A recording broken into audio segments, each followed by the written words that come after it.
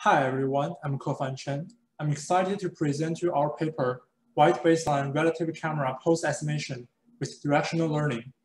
This work is done while I was working as a Google AI resident in collaboration with Noah Snavely and Ameesh Makadia. This task aims to take two images captured from distinct viewpoints and estimate the camera rotation and translation between the two views.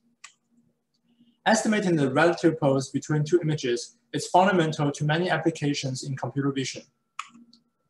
Feature matching-based methods are most prevalent for the relative pose problem, but they could suffer from unreliable correspondence in difficult scenarios. There are also many deep regression methods that explore training a network to directly map image pairs to relative camera pose.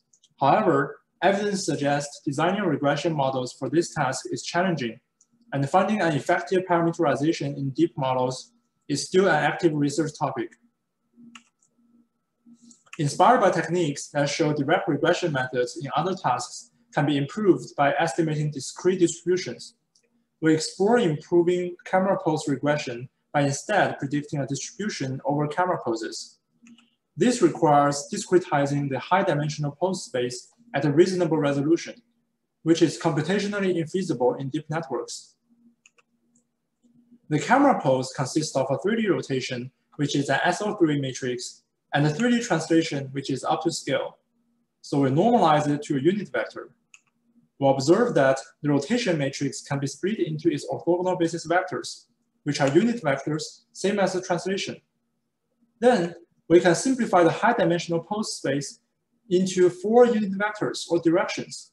Since 3D directions lie on the unit sphere, now we can estimate the poles using spherical distributions and making the computation tractable. To recover uh, directions from distributions, we can compute the spherical expectation on each distribution. To realize this idea, we introduce DirectionNet, which maps image pairs to a set of directional probability distributions over the sphere.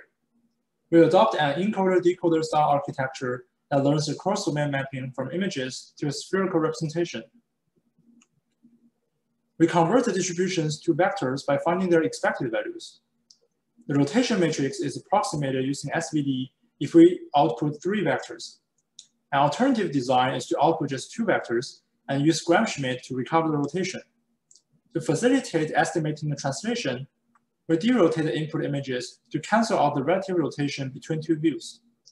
Intuitively, we expect that learning camera translation should be easier when there is no rotation. So first, we use a direction net to estimate the relative rotation between input images. Then use this rotation to derotate the images. Finally, we introduce a second direction net to predict translations from the rotation-free image pair. We train our model sequentially with loss on both the directions and the distributions. We evaluate our method on challenging synthetic and real indoor datasets constructed from InteriorNet and Matterport 3D we generate image pairs by sampling pairs of panoramas from a common scene, then projecting them to overlapping perspective views. We compare geodesic errors measured in degrees for both rotations and translation with regression and feature-based methods. As shown in the chart, DirectionNet outperforms base, all baselines and achieve near 50% error reduction over direct regression methods. To demonstrate the generalization ability of our model, we trained DirectionNet on InteriorNet and tested on Matterport. Even without any fine-tuning on real data, our approach still outperformed most baselines. To test the model's performance on outdoor scenes, we trained the model on wide baseline datasets created from KITTI, and strong results show that DirectionNet is also effective outdoors. To quantitatively evaluate each method, we draw a number of points on the target image in the first column and show the corresponding epipolar lines on the source image using the ground truth and the estimated poses in the following columns. We see that DirectionNet can still recover the correct relative pose in the new scenes, even when presented with large motions.